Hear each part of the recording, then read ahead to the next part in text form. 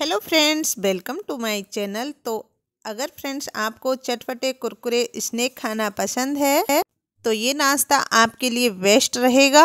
चलिए तो देख लेते हैं आज की स्नैक रेसिपी ब्रेकफास्ट नाश्ता। तो यहाँ पर मैंने लिए ये उबले हुए आलू और मैंने इन्हें ज़्यादा ओवर कुक नहीं किया है।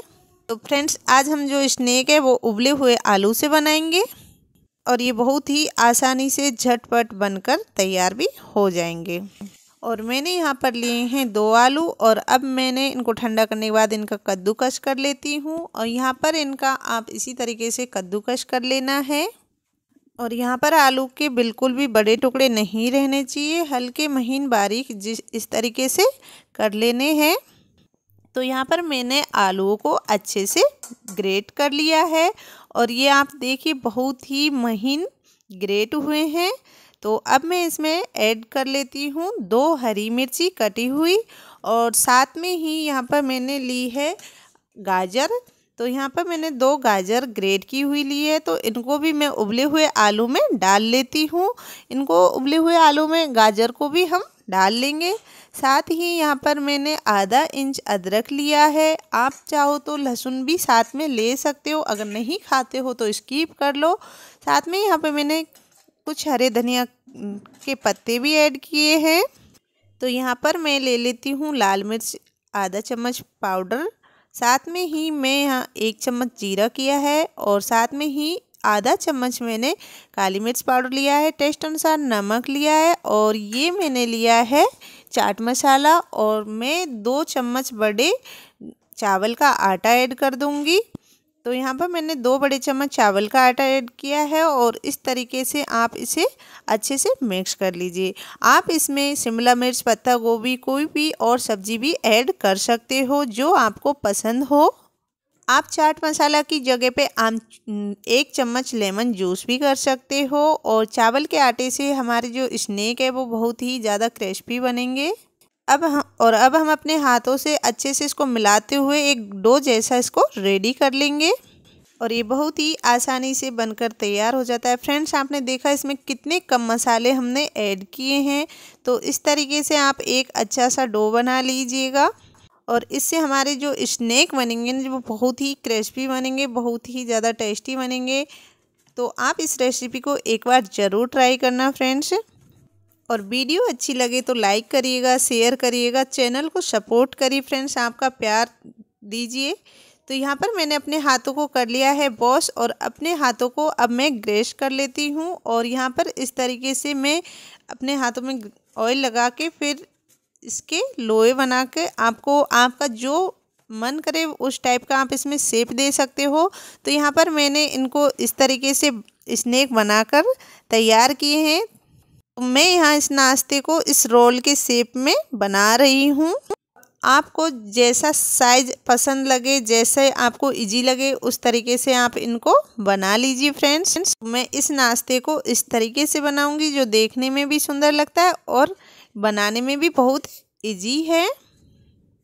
और फ्राई करने पर ये एकदम से कुरकुरे से रेडी होंगे और आप देखोगे आपको खाने में भी बहुत ही ज़्यादा टेस्टी लगने वाले हैं। तो यहाँ पर मैं इस तरीके के इनको फिंगर साइज़ के रोल बनाकर शेप दे रही हूँ। फ्रेंड्स वीडियो अच्छी लगे तो लाइक करना शेयर करना और आपका प्यारा सा कमेंट ज़रूर करना। कमेंट में बताना कि आप मेरी इस वीडियो को कहाँ से देख रहे हो। तो यहाँ पर मेरे सारे फिंगर जस्ट रेडी हो गए थे स्नैक तो अब ऑयल को हमने यहाँ पर बहुत अच्छे से गर्म कर लिया है और ऑयल मैंने आधा कटोरी लिया है फ्रेंड्स ऑयल को आप पहले ही बहुत ज़्यादा गर्म कर लेना है। ठंडा रहेंगे तो हमारे जो ये स्नैक है, ये बिखर जाएँगे तो आप ऑयल को पहले अच्छे से ही गर्म कर लेना। और यहाँ मैंने मैंने इनको हाई फ्लेम पर ही फ्राई किया है फ्रेंड्स और इसे फ्राई करने में दो तीन मिनट ही लगती है फ्रेंड्स ज़्यादा टाइम इसमें लगता नहीं है। और हमारा ये जो नाश्ता है, एकदम से बनकर कुरकुरा सा रेडी हो जाएगा। तो यहाँ मैं इनको उलट पलट कर अच्छे से फ्राई कर लेती हूँ।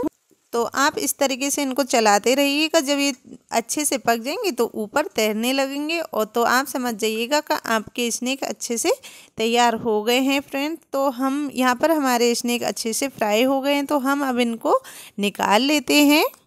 और इन्हें फ्राई होने में सिर्फ़ तीन मिनट का ही टाइम लगा है फ्रेंड्स। और आप देख सकते हो ये कितना क्रिस्पी बने फ्रेंड्स, कितना कुरकुरा नाश्ता मज़ेदार बनकर तैयार हुआ है। तो यहाँ पर मैं और जो बाकी के बचे हुए रोल है, उनको भी फ्राई कर लेती हूँ। तो मैंने फिर से सारे रॉयल है, इसमें डाल दे रही हूँ और इनको भी मैं अच्छे से फटाफट तैयार तैयार कर लेती हूँ। तो आप भी इसी तरीके से ये चटपटा सा कुरकुरा मज़ेदार नाश्ता ज़रूर ट्राई करिए फ्रेंड्स आप मेरी वीडियो को कहाँ से देख रहे हैं, कमेंट करके ज़रूर बताइए ताकि मैं आपका शुक्रिया अदा कर सकूँ। फ्रेंड्स, वीडियो अच्छी लगे तो लाइक करिएगा, शेयर करिएगा और कमेंट करना तो बिल्कुल ना भूलें। चैनल पे नए हो तो चैनल को सब्सक्राइब ज़रूर करें। तो यहाँ पर हम निकाल लेते हैं। नाश्ता हमारा बनकर तैयार हो गया तो चलिए फिर हम इसको शव कर लेते हैं। तो ये लीजिए फ्रेंड्स, उबले हुए आलू से कुरकुरा, चटपटा सा नाश्ता। खाने के लिए बिल्कुल ही रेडी है और देखने में बहुत ही सुंदर सा, टेस्टी, लाजवाब नाश्ता। तो फ्रेंड्स, सर्दियों में आप भी इस नाश्ता को एक बार ज़रूर ट्राई करें। ये स्नैक खाने में बहुत ही स्वादिष्ट और टेस्टी बने, बहुत ही क्रिस्पी कुरकुरा नाश्ता है। उबले हुए आलू से और गाजर से इतना स्वादिष्ट नाश्ता बना है। एकदम हेल्दी है और आपको, आपके बच्चों को, सबको घर में बहुत पसंद आने वाला है। तो ये थी मेरी आज की रेसिपी फ्रेंड्स वीडियो आपको कैसी लगी? अच्छी लगी हो तो लाइक करिएगा शेयर करिएगा कमेंट करना बिल्कुल ना भूले फ्रेंड्स और ये ज़रूर बताइए बताइएगा कि आप कहाँ से मेरी रेसिपी को देख रहे हो फ्रेंड्स तो फिर मिलूँगी नेक्स्ट वीडियो में। Take care bye bye all of you